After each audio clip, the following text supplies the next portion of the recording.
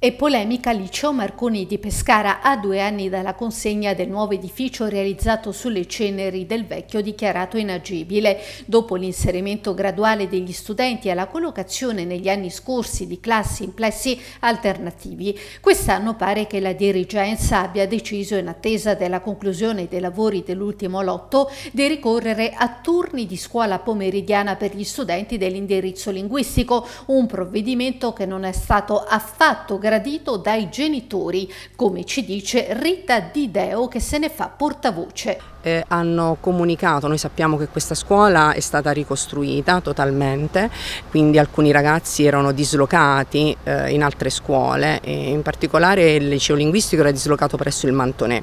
A luglio la dirigente ha comunicato che tutti i ragazzi dislocati sarebbero rientrati in sede. Eh, ieri invece abbiamo ricevuto eh, la comunicazione che il liceo linguistico dovrà effettuare un orario pomeridiano, sempre qui in sede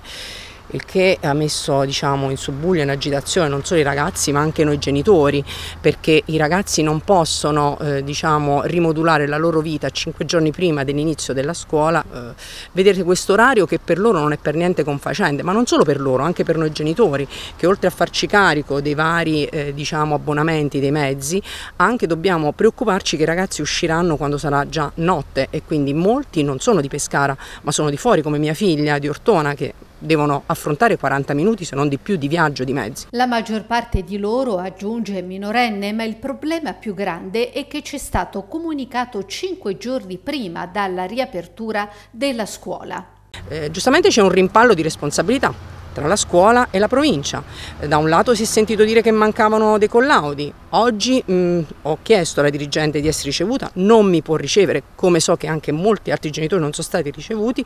perché è impegnata, dicono che mm, non sono stati finiti i lavori, quindi non sono, non sono terminati i lavori o mancano i collaudi. Cioè questi ragazzi si trovano veramente a vivere un disagio enorme, perché se pomeriggio devono stare a scuola fino a sera non potranno più svolgere le attività extrascolastiche.